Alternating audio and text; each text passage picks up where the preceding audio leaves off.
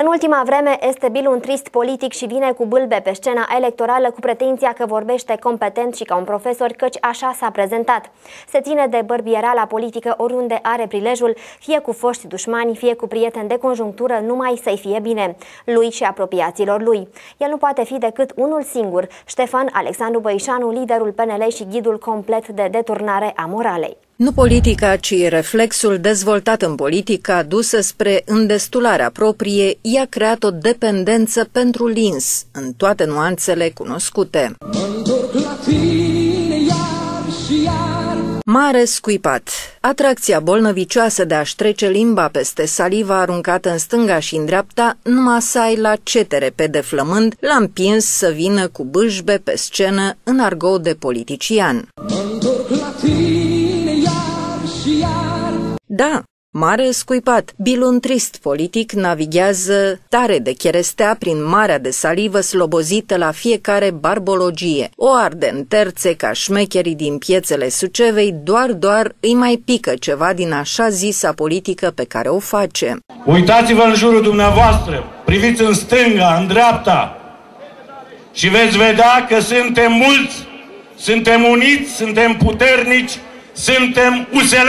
Balonat din care afară, sub sigla USL, s-a arătat extrem de fasolit în fața lui Victor Ponta și Crin Antonescu de situația sucevenilor din cauza potopului PDL stârnit de Gheorghe Flutur și echipa lui. Și vreau să le spun domnilor președinți, domnule Ponta, domnule Antonescu, domnule Constantin, că Suceava a supraviețuit potopului și nenorocirilor aduse de PDL timp de patru ani.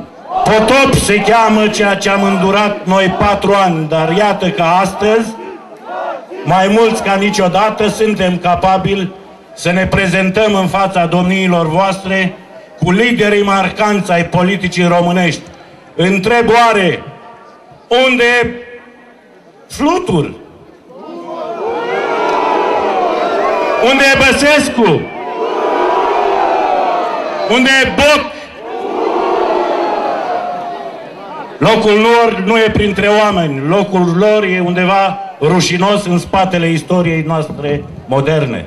Băișanu s-a dat crocant pe scena OSL și în fața primului său lider iubit pe care îl voia la Cotroceni, Crin Antonescu. A fost fericirea lui de pe urmă să găsească în acesta un naționalist de săvârșit care își iubește la nesfârșit propriul neam. Și mai cred, domnilor și doamnelor, că România are nevoie de un președinte de excepție, de un om care să-și iubească neamul, și mai cred în Crin Antonescu, viitorul președinte al României, care să ne aducă mândria și demnitatea de a fi români în țara noastră, în Europa și în lume. După o perioadă de turbulențe politice, Băișanu a revenit la vechiul șlagăr preferat. Mare scuipat, unde ești?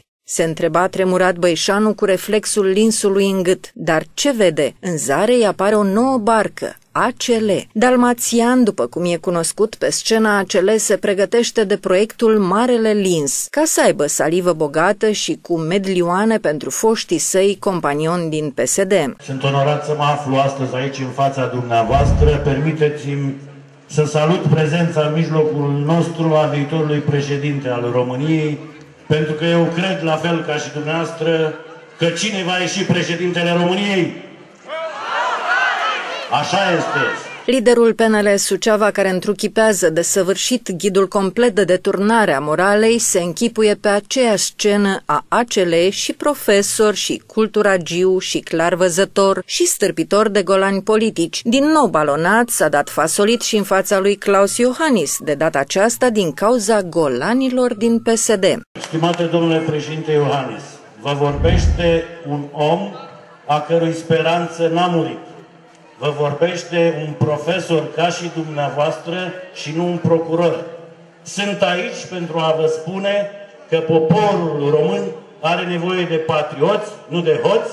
Sunt aici, stimați bucovineni, să vă spun că pesediștii seamănă cu fierul de călcat.